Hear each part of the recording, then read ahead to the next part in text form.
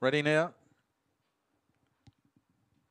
Racing, very slow, no strings. Winning at Sam's Girl, Penny Pinto, no strings going up near the rail. Right behind them, Gabby Red Fox and St. Jayton railing a hard as no strings got into bother. Back last, Daryl Dowling. On the turn, the front runner, Penny Pinto. St. Jayton out of the pack, running on, and then Sam's Girl and no strings. They turn though. Penny Pinto's a good leader. St. Jayton rocketing home late with no strings, but Penny Pinto clear, and Penny Pinto has beaten St. Jayton, no strings, and Sam's Girl, followed by Gabby Red Fox. Last, Daryl Dowling run there 22.87.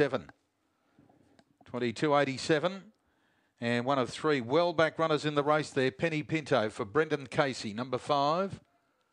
Goes all the way to win, five Penny Pinto. Beats four St. Jaden. Third in the race will go to one no strings. Five, four, one. Five, four, one.